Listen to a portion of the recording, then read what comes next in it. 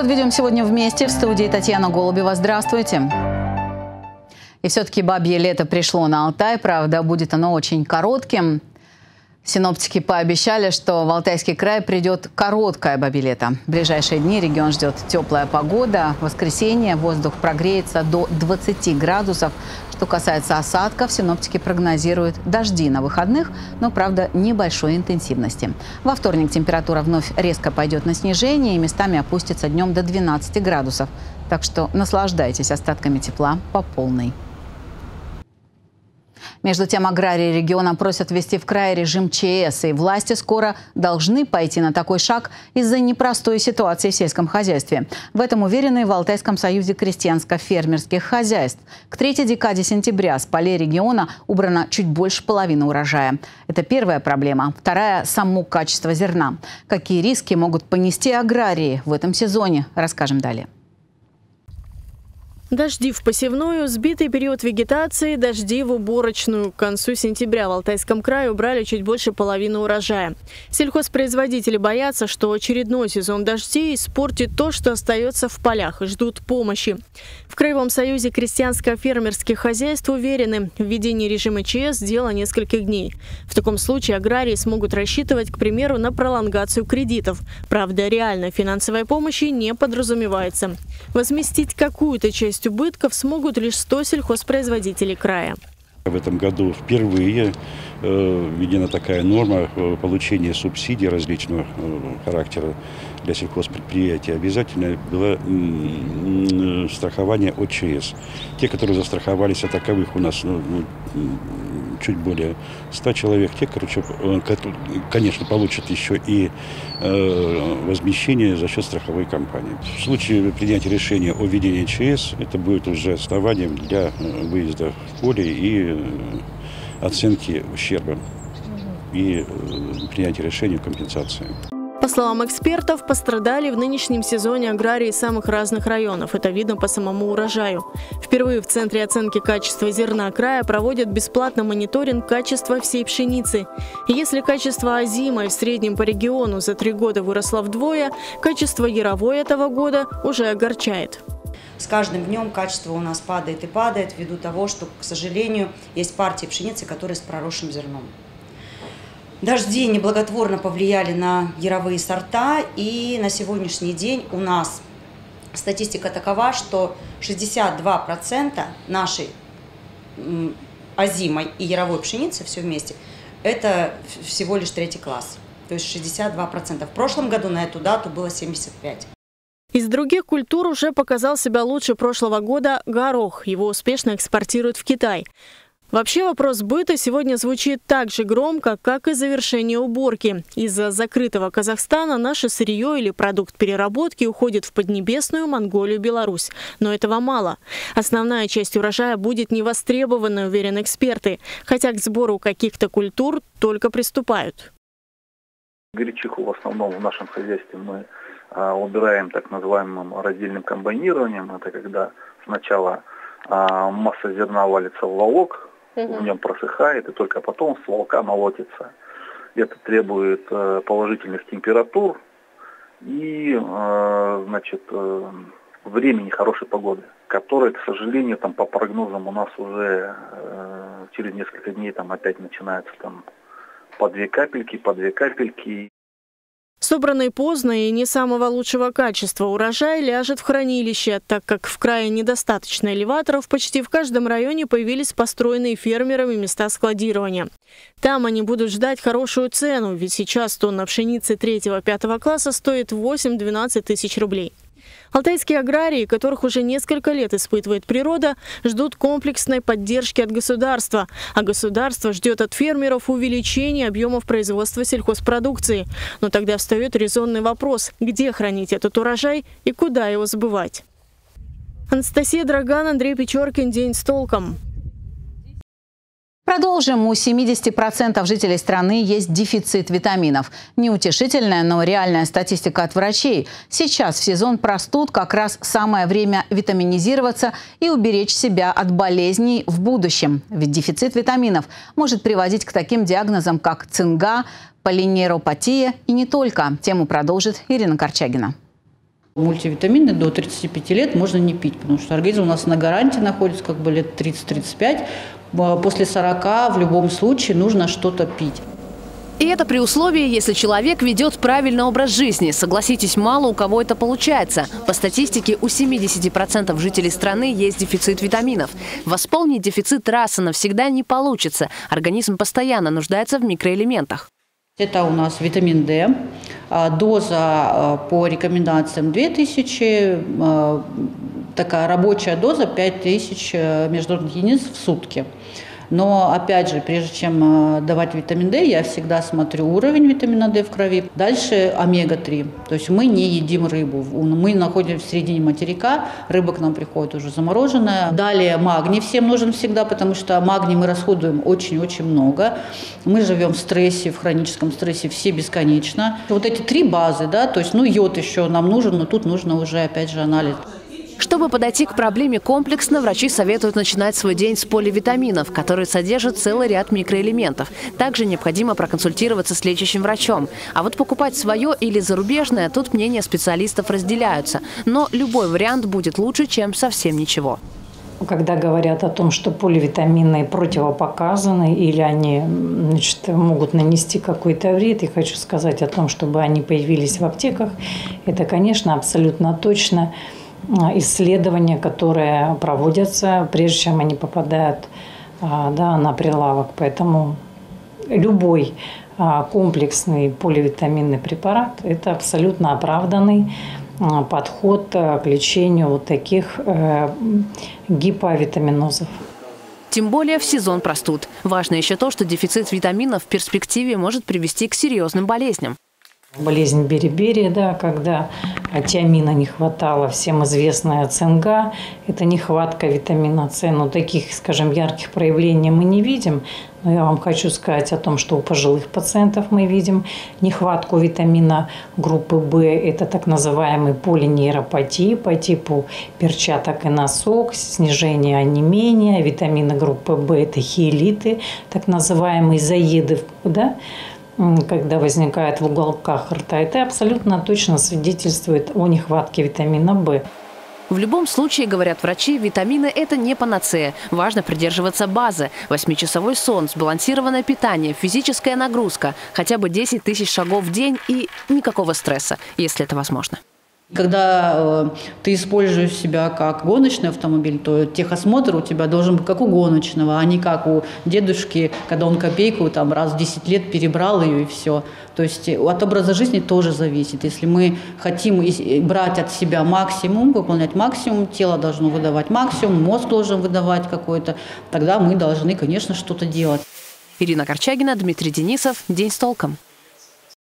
Резонансной на этой неделе стала тема стихийного рынка, который 10 лет беспокоит жителей района Докучаева на улице Попова. Местные пытаются разогнать торговцев, которые, по словам жителей, не только мешают им спать, но и бросают отходы за домом, а также не стесняются справлять там нужду.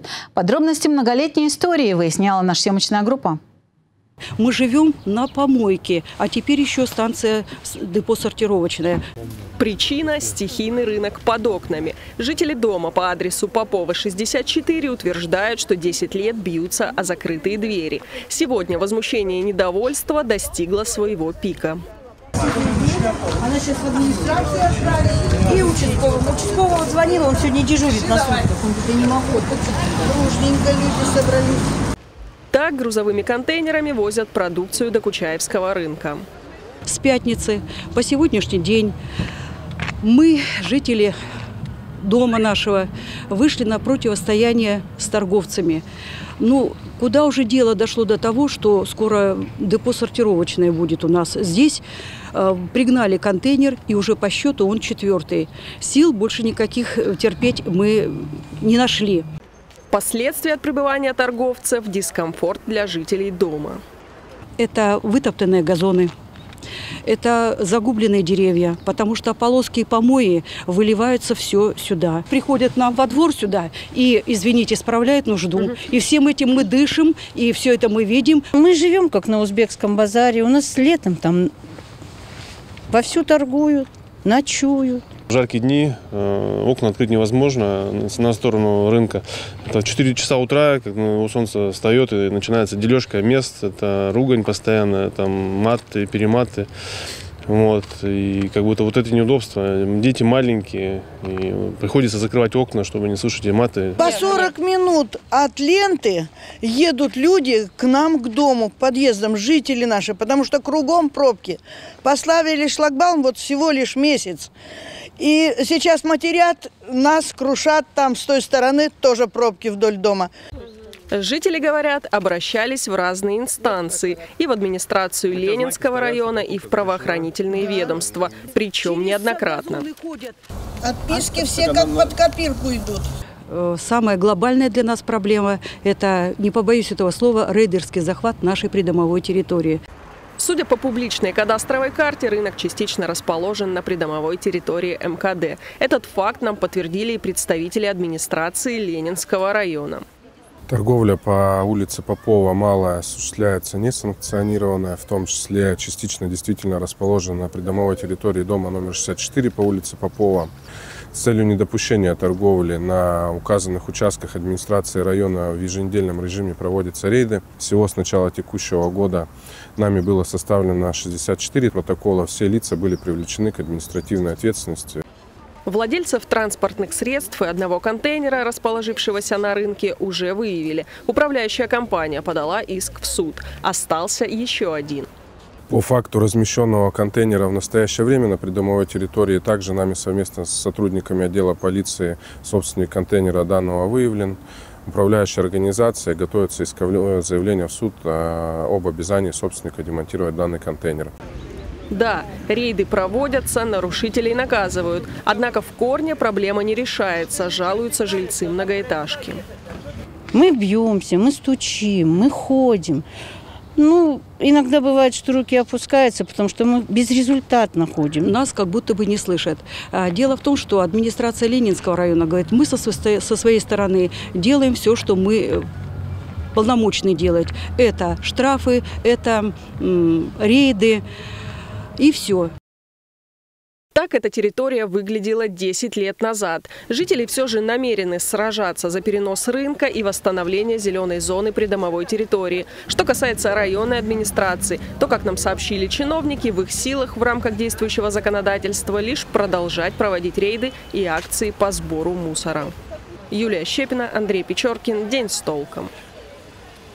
Продолжим. В крае переходят на квартальную застройку частных домов, когда в едином стиле сдаются целые улицы или даже деревни. По итогам 2023 года объем квадратных метров индивидуального жилья, введенного в эксплуатацию, превысил аналогичный показатель по многоквартирным домам. Основной сегмент частных домов, которые строят в Алтайском крае, средний. Комфорт-класс от 80 до 120 квадратных метров. А все, что меньше по площади или больше, становится эксклюзивным предложением. Об этом говорят риэлторы региона. Мы пообщались с президентом Союза риэлторов Барнаула и Алтая Мариной Ракиной. По ее мнению, есть две причины, почему индивидуальное строительство вышло вперед в сравнении с многоквартирным. Первое – это стоимость квадратного метра в многоквартирном доме выше, чем сегодня на ИЖС. И второй фактор в том, что действительно хочется жить автономно, локально, имея свою территорию, и как бы дома выполняют теперь функцию и отдыха, и дачи, и свободного пространства. Угу. Поэтому некоторые семьи, даже имея квартиры в Барнауле, все равно покупают загородные дома, чтобы какую-то часть времени жизни проводить там. Современные деревни – это прям ближайшее будущее. Это не современные даже деревни, это город, э, это город на земле. Потому что новые ЖК, которые сегодня строятся, они строятся уже со всей инфраструктурой. Туда закладываются и, дом, и школы, и детские сады, и магазины, и медицинские учреждения. Сегодня Первомайский район э, поражает своими просторами и новыми идеями и по магазинам, и по фитнес-центрам. Поэтому я уверена, что мы увидим новый формат, формат э, загородного жилья не деревенский, а городской. Мы живем с вами в аграрном регионе. И мало того, что в аграрном, мы живем с вами в регионе с большими площадями.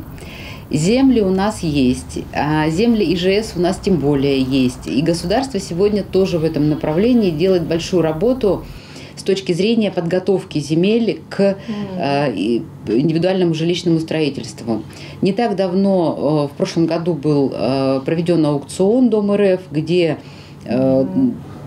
ну, скажем так, в пригороде Барнаула был разыгран э, участок земли, предполагаемый там на 400 домов, допустим, да. А в этом году произошел старт продаж строительства на площадке э, ЖК «Ботаника», где э, предполагается строительство 1200 домов.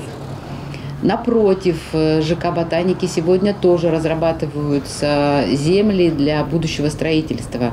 Я уверена, что жителям города Барнаула не стоит беспокоиться о том, где построить дом. У нас земли есть и хватает. В городе Барнауле тоже есть э, такие э, локации, где сегодня идет, пусть не такое масштабное, но вполне себе емкое строительство и ну, жилые дома, я уверена, что точно украсят жизнь наших жителей, и в том числе в городе Барнауле. Спустя неделю мы после пожара побывали вновь в приюте для животных «Бусинка». Здесь сейчас остро нуждаются в строительных материалах. При пожаре, который унес жизни нескольких животных, сильно пострадала крыша и комнаты. Многие кошки до сих пор находятся в стрессе, как и руководители приюта, ведь забот теперь у них стало намного больше. Если бы у меня было чуть больше времени, я думаю, что я бы, скорее всего, успела вынести всех. И сейчас уже, конечно, каждый день прокручивая все это в голове, это невозможно без этого обойтись. И я каждый раз думаю, что, ну, наверное, надо было сделать чуть по-другому.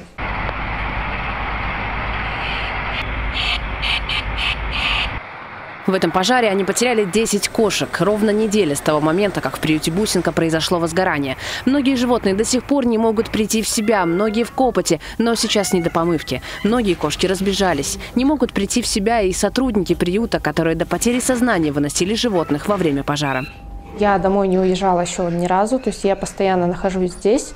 А, моих домашних животных кормят просто мои знакомые, мои друзья.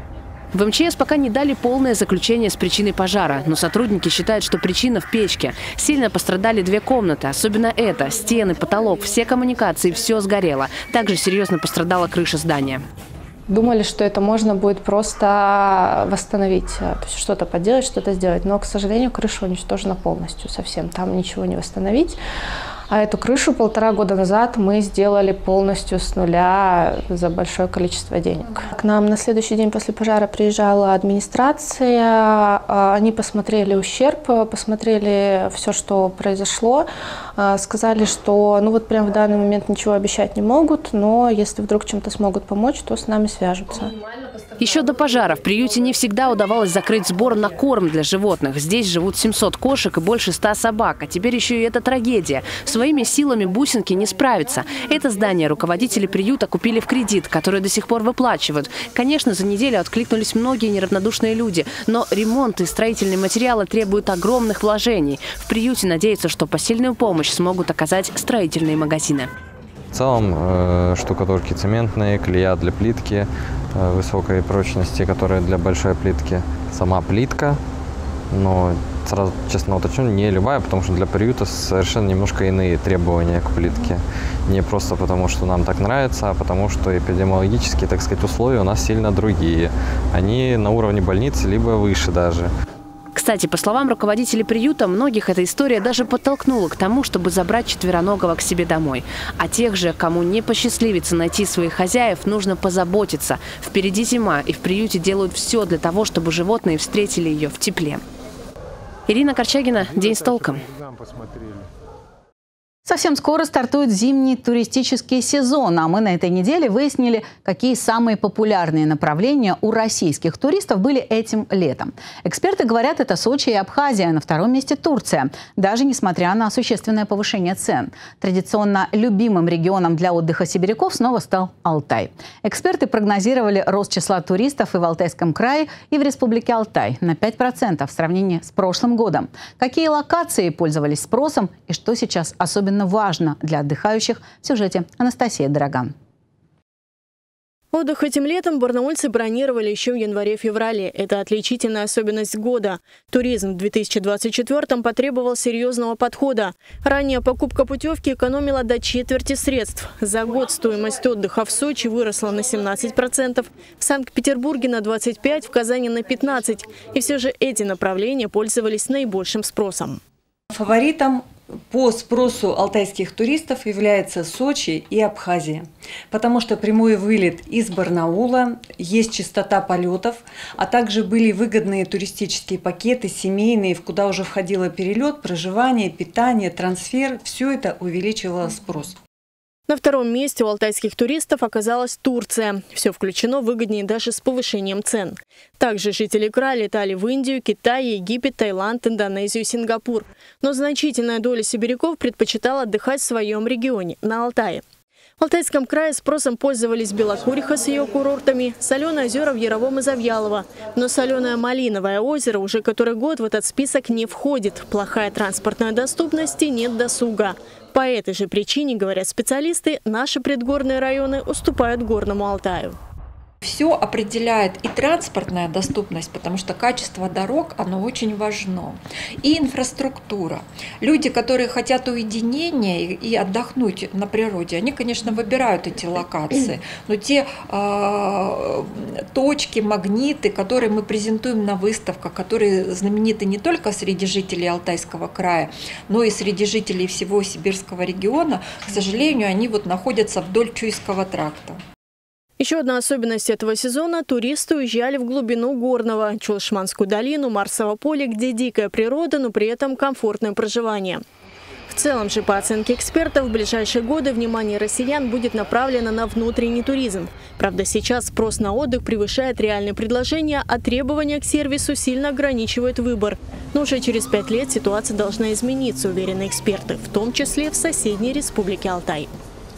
Анастасия Дороган, Андрей Печоркин. День с толком. Места для отдыха должны быть чистыми. В этом уверены волонтеры-экологи. Больше двух тонн мусора собрали с горы Белуха и экологических троп, ведущих к ней. Экоактивисты со всех уголков страны – Москвы, Санкт-Петербурга, Новороссийска, Новосибирска, городов Алтайского края – пытались вернуть природе Алтая ее первозданный вид. О десятидневной экологической акции смотрите в следующем сюжете. Туристы обжигают банки, видите? Банки до конца не обжигаются, потому что дров здесь не хватает для этого. Поэтому надо менять правила. Надо все, что ты принес, просто забираешь с собой. Такого девиза должен придерживаться каждый турист, считают эко-волонтеры движения «Мусорная лавина». Уже четвертый год подряд по завершению летнего сезона они проводят акцию по сбору мусора на горе Белуха, одной из главных достопримечательностей Республики Алтай. Кстати, для местных жителей Белуха – священная гора. Территория природного парка Белуха составляет где-то около 131 тысяч гектаров. На территории парка, получается, у нас находится четыре памятника природы. Это гора Белуха, Золотые горы, получается, памятник природы Акемского озера, памятник природы Кучелинского озера и водопад Текелю. Алтай и его красоты все больше и больше привлекают туристов. Их поток с каждым годом растет. Турпоток составляет в 2023 году около 2,6 миллионов посещений. Э, в 2024 году по состоянию на 1 сентября 2024 года э, турпоток составил около 2 миллионов посещений. И под ведомственным данным также прогнозируется увеличение турпотока э, на конец года до 2,7 миллионов посещений. Акцию организовали волонтеры совместно с компанией «Эвалар», где сохранение экологии Алтая считают важной социальной миссией. За три года волонтерам удалось утилизировать больше 12 тонн мусора. Как здорово и хорошо, что такие компании, как Эвалар, э, понимают, поддерживают. И я очень рад э, и надеюсь, это партнерство продлится долго. Вот так мы собираем силами днями тут все мусор, чтобы чисто был. В этом году акция прошла с 17 по 25 августа. В ней приняли участие 14 добровольцев из Москвы, Санкт-Петербурга, Новороссийска, Кемерово, Бийска, Барнаула и даже Узбекистана. Два дня мы э, идем наверх, люди разной физической подготовки участвуют, идем мы медленно, преодолевая себя, преодолевая препятствия, непогоду, дождь, снег, слякоть, слезы. Поднимаемся и здесь уже производим уборку, выходим в радиальные выходы в походы. Каждый выход э, составляет около 5-6 километров. И на себе стаскиваем этот мусор э, все в одно место, далее сортируем, взвешиваем и ждем вертолет. Вертолету Ми-8 пришлось сделать два рейса. Всего собрали 150 мешков мусора общим весом в 2 тонны. Гора стала чище. Чистая гора, чистая совесть. Юлия Щепина. День с толком. В Алтайском крае в среду торжественно открыли второй театральный фестиваль спектаклей по произведениям Шукшина «Здравствуйте, люди». В его афише 13 постановок, которые привезли гости из Санкт-Петербурга, Хабаровска, Нижнего Новгорода, других российских городов и даже из Казахстана. Последний раз фестиваль проводили пять лет назад. Тогда гостей было в два раза меньше. На открытии побывал Данил Кузнецов. Ура!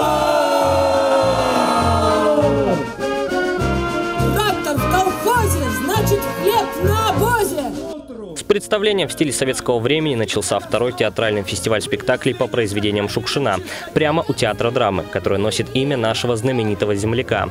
По всем канонам этого классика открытие было под березами. Стилистика 60-х выбрана неспроста. В эти годы Василий Макарович стал известен широкой публике как писатель и режиссер. Вот я как просто как гражданин, как человек чувствую, что э, формат мероприятия вот полностью соответствует творчеству Шукшина, его нравственности, его вот именно правде, его человечности. Такая, знаете, ностальгия по этим, э, по этим чувствам. В честь 95-летия со дня рождения Шукшина фестиваль решили сделать поистине масштабным, не ограничиваясь только рамками театра. Например, в Барнауле и Сростках организуют две экскурсии. Также можно будет послушать пьесы, которые драматурги создали в рамках творческой лаборатории «Шукшин. Миф и реальность». Мы э, проводили читки пьес, те, которые не вошли у нас в тройку. Э, одна читка будет в Гмилика, две у нас. То есть те зрители, которые не успели познакомиться с нашими пьесами, они э, послушают. Есть сюрпризы и для гостей, которые приехали на фестиваль из других городов. Для них сделали специальную выставку, которую даже открыли необычно.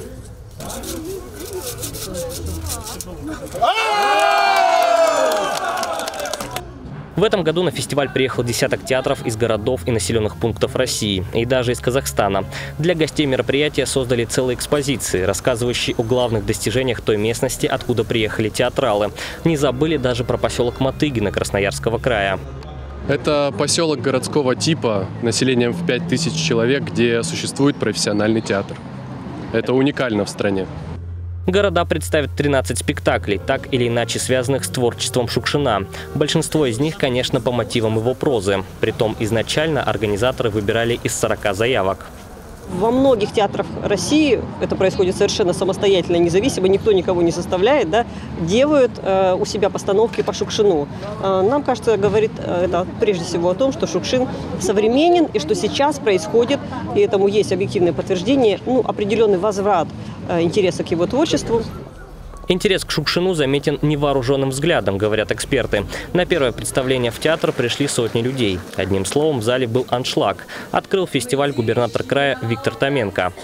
Я хочу пожелать всем участникам фестиваля выступить достойно, показать по-настоящему свое творчество, свое искусство, поделиться со зрителями своим пониманием, своими взглядами и эмоциями. Первый спектакль программы «Детенок мой» представил Краевой театр драмы. В этой истории центральное место занимает, как ни странно, не Шукшин, а его мать. На судьбу вдовы выпали тяжелые годы – репрессий, голода и войны. На какие жертвы приходилось идти, чтобы вырастить гениального писателя и режиссера, было показано в постановке по мотивам пьесы минского драматурга Дмитрия Богославского. Но для поклонников творчества Шукшина добавим, что фестиваль только стартовал и продлится он до 27 сентября. Данил Кузнецов, Владислав Ковалев. День с толком. В Гмилика открылась выставка, которая рассказывает о том, как раньше барнаульцы измеряли время. Сложно поверить, но всего лишь чуть больше века назад далеко не все жители города могли позволить себе часы. Тему продолжит моя коллега Ирина Корчагина.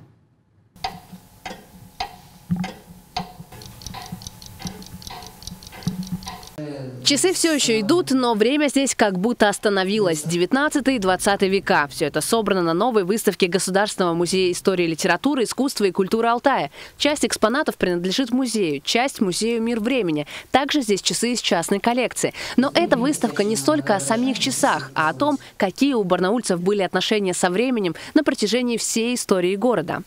Начиная еще с демидовских заводов почти 300 лет тому назад – не секрет, что долгое время, там, вплоть до 20 века, часы были дорогим удовольствием, а большинство жителей, простых людей, вынуждены были как-то отмерять э, время по-другому. Выставка как раз отвечает на вопрос, на что ориентировались люди, которые не были счастливыми обладателями часов. Даже в первой половине 20 века, в деревнях особенно, Еще были живы способы определения времени по Солнцу и по звездам. Каждая хозяйка в своей избе знала, что если Солнце падает и тени ложатся в одной части избы, то это время завтракать, в другой части избы обедать. Об остальных способах измерения времени жители города смогут узнать на самой выставке. И о них расскажут сами часы в игровом формате. Так что интересно будет и школьникам. Заглянуть в повседневную жизнь барнаульцев других эпох можно будет до 6 октября. Ирина Корчагина, Дмитрий Денисов. День с толком. А у меня на этом все. Напоминаю, что об интересных и актуальных новостях вы можете сообщать по телефону нашей редакции 205 545. Через несколько секунд о погоде. Спонсор прогноза компании «Валар». Мира и добра всем. До встречи.